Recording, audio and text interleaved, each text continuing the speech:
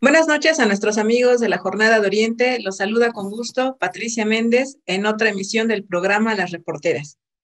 En esta ocasión queremos agradecer el tiempo que nos ha brindado, eh, esta, esta atención que ha tenido con nuestros amigos que nos ven en las, en las redes sociales y que nos, leen a través del periódico impreso, a Luz eh, del Carmen Arredondo. Ella es representante en Puebla del Frente Nacional contra la Violencia Vicaria. Buenas noches, Luz. Hola, ¿qué tal? Muy buenas noches. ¿Cómo estás, Pati? Muchísimas gracias por la invitación y por el espacio. Muchas gracias. Los agradecimos, agradecidos somos nosotros.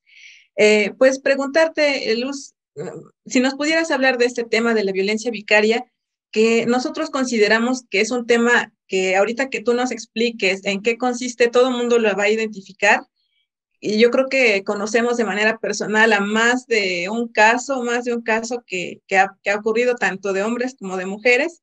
Eh, entonces, si nos puedes, por favor, poner en contexto de qué es la violencia vicaria, por favor. Pues sí, realmente este es un tipo de violencia de género. Y sí, hay que dejarlo muy claro porque no es, es exclusivamente y se da de los hombres hacia las mujeres.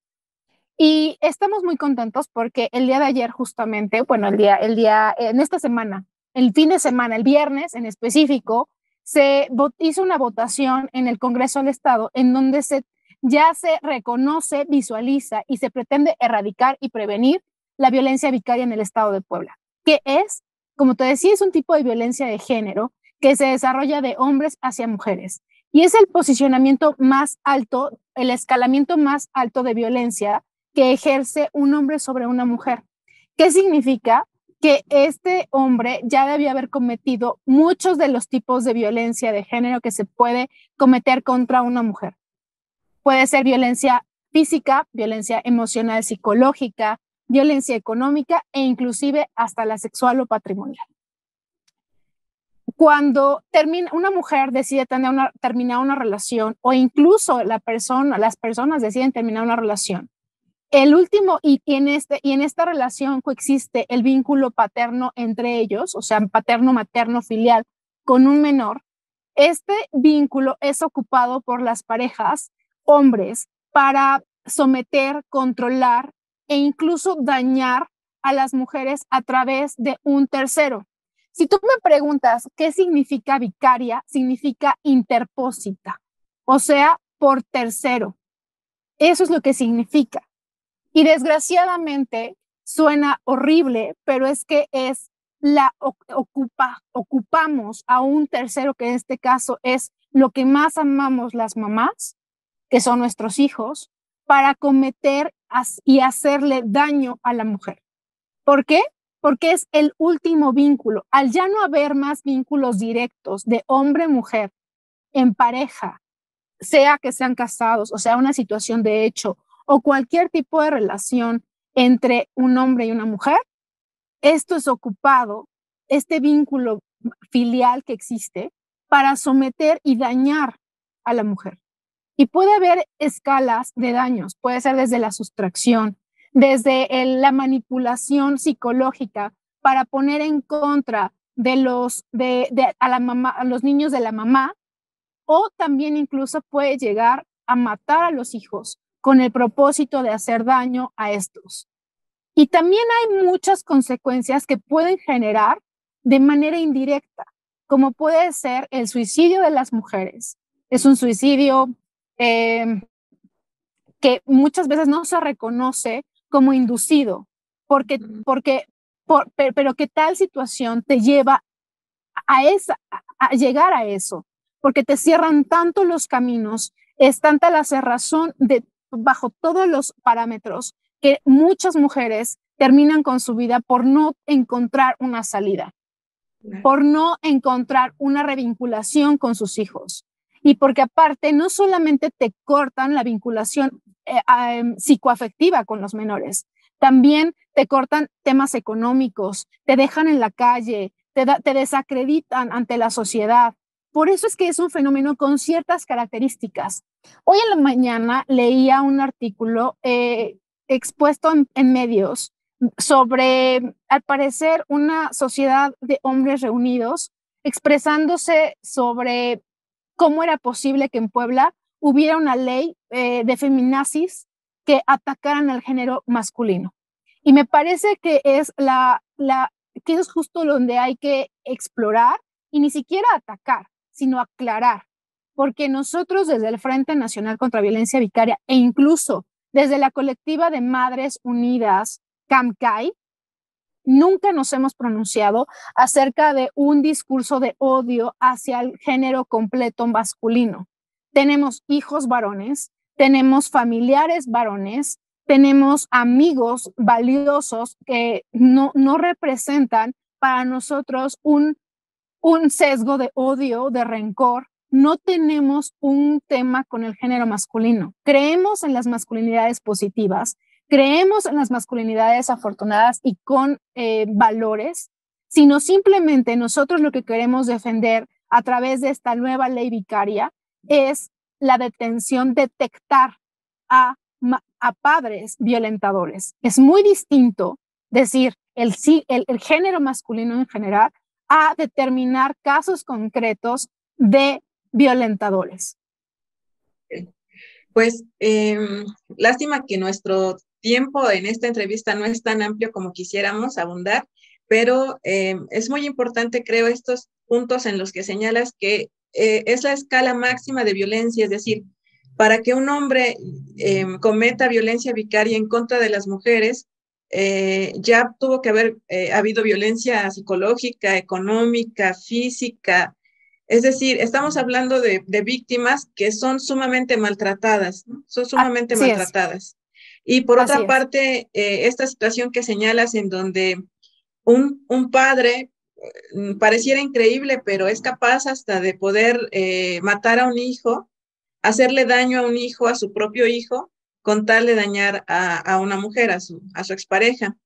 Eh, Luz, en, ¿cuál es la situación en Puebla? ¿Cuál es la recurrencia de este delito? Bueno, eh, ahorita nos vas a hablar si ya está configurado en, en, el Código Penal y cuáles serían las sanciones y qué tan recurrente es este fenómeno en el Estado, por favor. Mira, creo que es importante destacar que nosotros como colectivas, tanto CAMCAE como el Frente, y a nivel nacional también hay otras colectivas como Madre Yo Si Te Creo, Madre Coahuitzli, o sea, hay muchas colectivas que hemos estado recabando de manera orgánica y sin, sin que podamos determinarlo como una fuente formal, porque finalmente una fuente formal es a través de una institución eh, desconcentrada o descentralizada que tiene números específicos y que levanta encuestas, como puede ser INEGI o como puede ser la misma Secretaría de Igualdad Sustantiva tanto del Estado como a nivel nacional, ¿no? Sin embargo, estas colectivas hemos hecho encuestas serias a través de empresas y yo te puedo decir que los indicadores que da el Frente Nacional contra Violencia Vicaria, si bien es cierto, es un aproximado, tenemos casos de tres a cinco casos por semana en donde vamos incluyendo mamás. Eh, incluso yo te puedo decir, en Puebla, a raíz de mi detención la semana pasada, eh, y como esto se hizo en medio, hubo una exposición altísima, yo, yo por lo menos en mi chat de, de Puebla ingresé a tres mamás, en la, cuatro mamás en la última semana, cuatro mamás. Y, eh, y ayer que estuvimos en el Congreso hicimos como una mesa de atención al público y se acercaron dos mamás nuevas. O sea, es que es como este tema, o sea, pasaba en en un futuro, hace tiempo pasaba. Esto ya era algo que era conocido, pero como no tenía nombre, no, no podía ser visualizado y tampoco erradicado.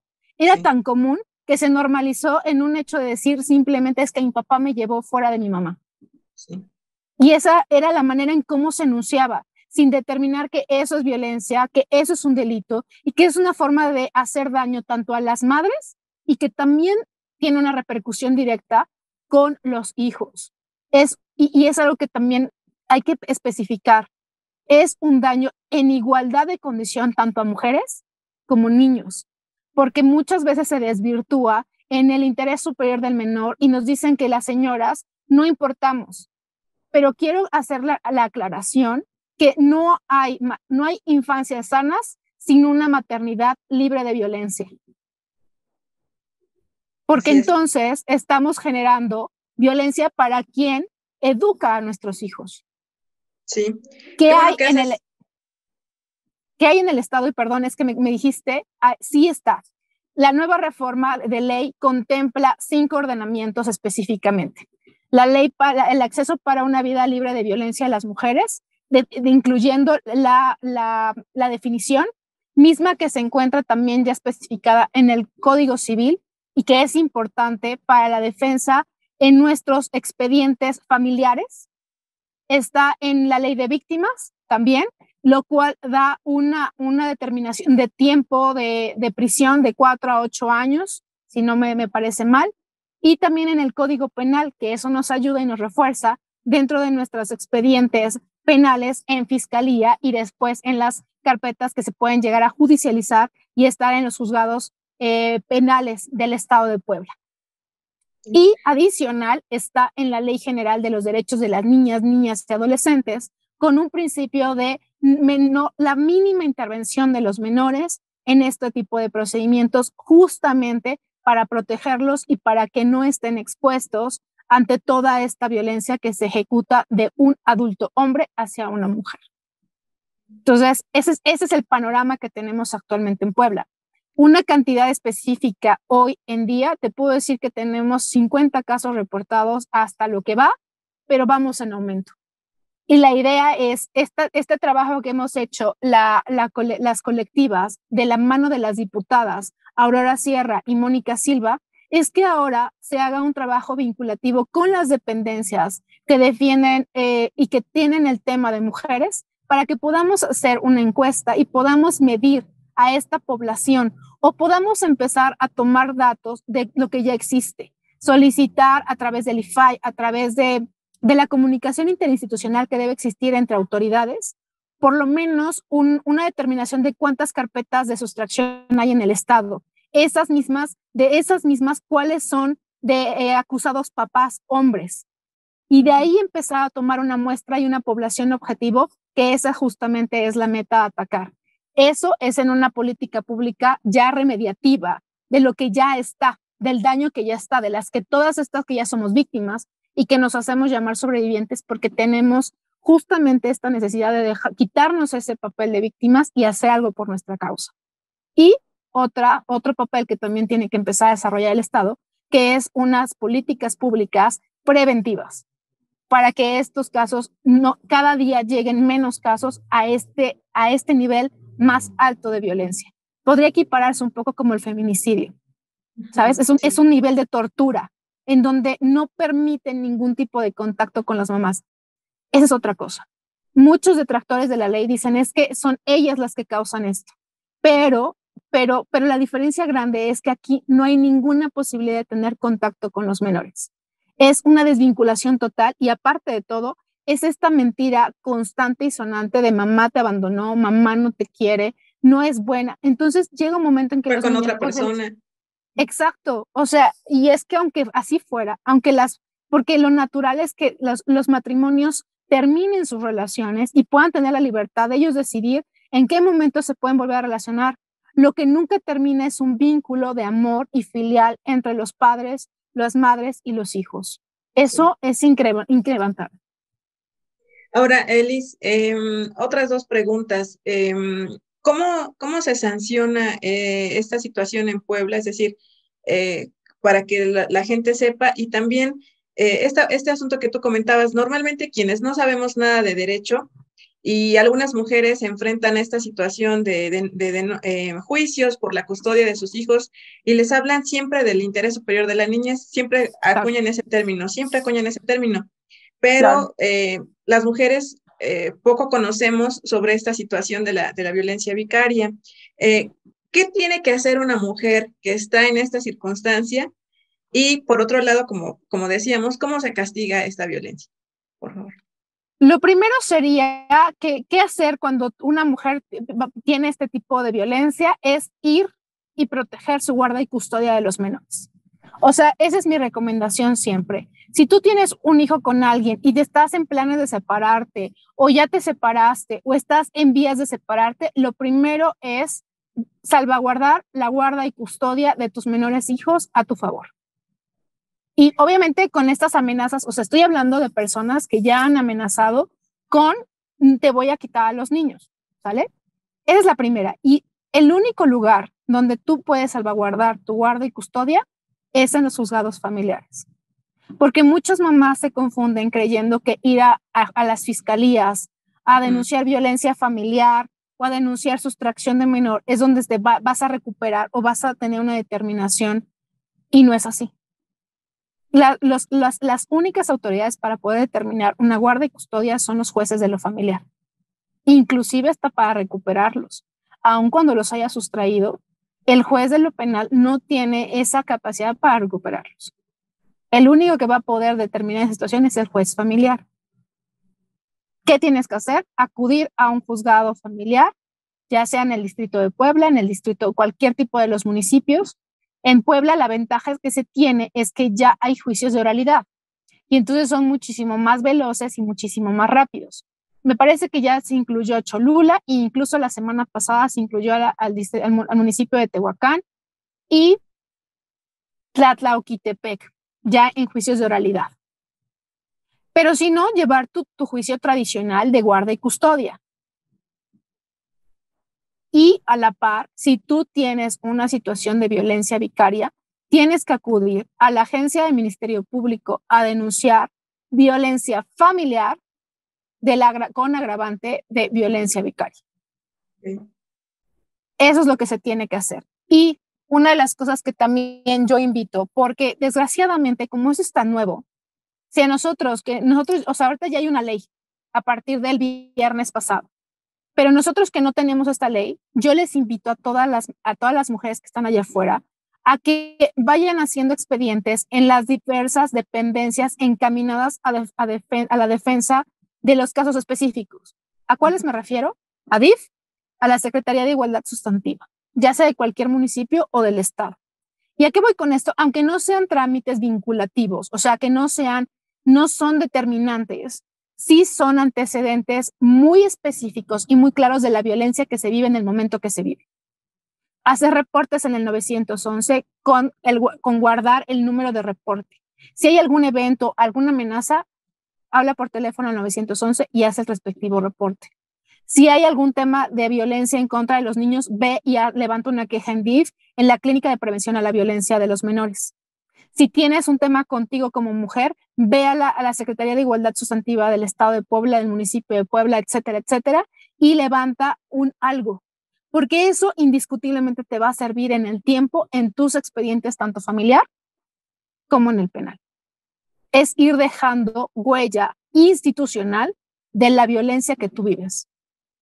Eso te va, a hacer la diferencia porque muchas veces también nosotras como mujeres dentro de la violencia vicaria vivimos una violencia institucional ejercida por estos violentadores, con falsas denuncias, todo el tiempo hostigándonos en, los, juicios familiares, exceso de, tramitación de amparos. Y entonces es, es, esto es lo que hay que hacer. Es un poco, es la misma estrategia de ellos, pero en positivo hacia nosotros. Eh, disculpe, ¿y cuáles serían las sanciones para quienes cometen este tipo de violencia? Prisión. Hay, hay una sanción por prisión y evidentemente hasta la pérdida de patria potestad de los menores. Bueno, queremos recordarle a quienes nos están siguiendo por redes sociales que estamos platicando con Luz del Carmen Arredondo, ella es representante en Puebla del Frente Nacional contra la Violencia Vicaria. Eh, Luz, si nos pudieras hablar nada más brevemente para ya para cerrar la entrevista, recordarle a nuestro auditorio de qué tan grave puede ser este caso que ya ocurrió en el estado con el caso de Cecilia Monzón, que todo que todos pues, conocemos el, caso, pero eh, digamos conocemos el nombre, la gente conoce el nombre y conoce lo que pasó, pero es un, un claro ejemplo de la gravedad de este tema, por favor. Sí, por supuesto. Mira, yo creo que incluso en el Congreso, en la ley, se hizo, se hizo un, merecido reconocimiento a Ceci. ¿Y, en qué sentido?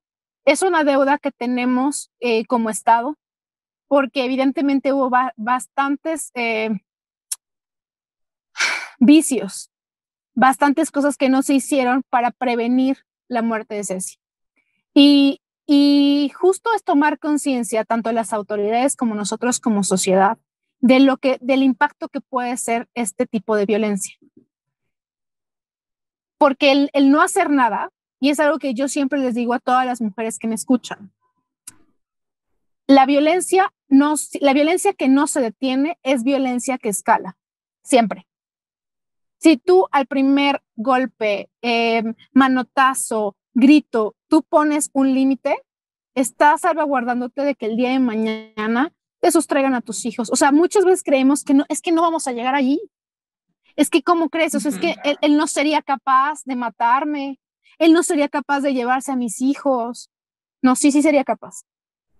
Toma precauciones. El mensaje es claro y contundente. Toma precauciones necesarias para que no te suceda. Y ve a las instituciones que necesitas ir y, y, exige lo que tienes que exigir. Y lo digo porque sé si era alguien que exigía, alguien que defendía no solo sus derechos propios, defendía a los derechos de muchas mujeres. Y por lo mismo, si a ella le pasó lo que le pasó, imagínate a todas las demás mujeres.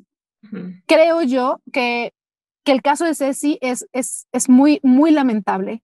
Nosotros desde dentro de las colectivas eh, todavía no, no, no nos reponemos de esa pérdida, pero creemos que con esta ley, al menos ella en su corazón allá arriba, va a sentir mucha paz porque va a haber muchas mujeres como las que ella defendía que van a estar protegidas. Y lo que queremos es que no vuelva a suceder algo así como Ceci. Y que tampoco vuelva a suceder a mamás que se detengan por su rol de ser mamás. Y que tampoco queremos a mamás que no tengan a sus hijos cerca. Muy bien, Luz. Eh, pues si nos pudieras regalar, por favor, un mensaje final para despedirnos de nuestros, ah, de nuestros amigos que nos ven en redes sociales, por favor. Mira, yo siempre trato de terminar con un espacio para que las voces de nuestras mamás lleguen a donde realmente nosotros queremos llegar. Y este es un mensaje para nuestros hijos y los hijos de, de las mamás que todavía no los tienen. Y siempre hablo como si yo fuera esa mamá. Y es, siempre les digo, hijo, hija, te estoy buscando. Hijo, hija, te amo. Hijo, hija, nunca he dejado de pensar en ti y hago todo, todo porque regreses. Y todos los días mi amor te sostiene y está para ti. Hagas lo que hagas, digas lo que digas, pienses lo que pienses, mamá te ama. Y no va a dejar de hacerlo y no va a dejar de luchar por ti. Y eso fue mucho lo que yo siempre le decía a mi tomate, a mi hijo tomate.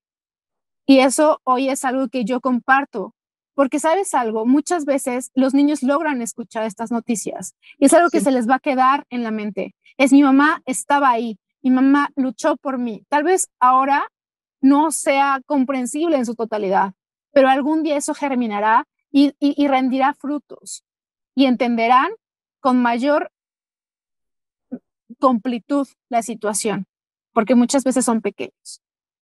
Y no, no, no, no les da, porque evidentemente también estamos en un mecanismo sistematizado donde nos dicen que somos malas. Pero yo te digo, hijo, yo te amo. Pues muchas gracias.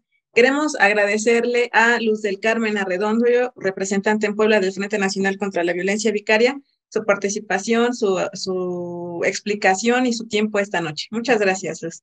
Muchísimas gracias, Patti. Y si tienen algún caso que quisieran compartir, si tienen dudas, si quieren saber si lo que viven es violencia vicaria, por favor acérquense a las, a las redes del Frente Nacional contra Violencia Vicaria, en Facebook, en Instagram, y en Instagram yo tengo una cuenta particular que es sobreviviente-vicaria para cualquier duda y pues ahí están nuestras redes. Si tienen aquí casos en Puebla, por favor acérquense, no están solas. Creo que esa es la primera, es, saber qué se vive para poder empezar a, a, ver hacia dónde vamos y cómo empezar la defensa de nuestros derechos para vivir una vida libre, sin violencia, en nuestra maternidad. Pues muchas gracias, Luz. Muchas gracias. Ahí están eh, este mensaje, en el contacto en las redes sociales. Gracias a quienes nos siguieron en esta noche de domingo. Buen término de día. Gracias. Saludos, gracias.